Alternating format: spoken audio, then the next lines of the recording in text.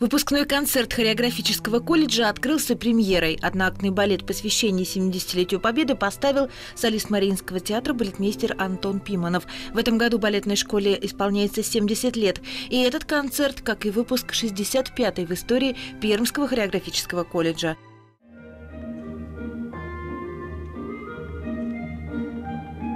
Обязательные программы выпускники показали на государственных экзаменах по классическому, народно-сценическому и дуэтному танцу. На выпускном концерте время показать мастерство артиста балета.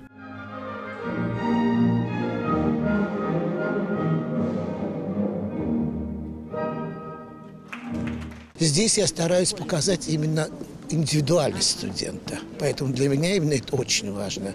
И иногда спрашивают, почему вот, вот такая программа сегодня? Потому что такой контингент у нас сегодня. Вот у нас есть прекрасная балерина, у нас есть красивый танцовщик, у нас есть техничный танцовщик, у нас есть техничная балеринка.